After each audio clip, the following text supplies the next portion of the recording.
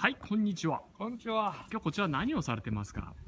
花粉をつけるっていうね、これ白髪っていう梅はね、本当にたくさんなるんですけどね、うちのこの白髪はならないですよ。はい。それで、あの向こうにあるのは中梅、こっちが小梅はい。の花粉を取りましてね、はい。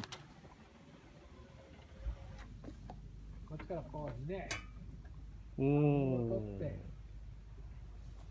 そしてこっち側の枝へやると。それでもあんまり良くないだよね。だから、粉を取った方がいいだけど、ついそういうこと忘れちゃって、はい。しょうがなくあってこするだけですけどね。あー、いい匂いがしますね、今日はなんか。そうですか。はい。天気がいいからね、ちょっとこしこしてやろうかなと思って。あー、そういうことですか。今、ちょっと今年初めてですけどね、花粉つくの真似、つけの真似をしてるとこで。そうですか。はい。頑張ってください。はい、風がなければね、具合がいいだけどね。はい。はい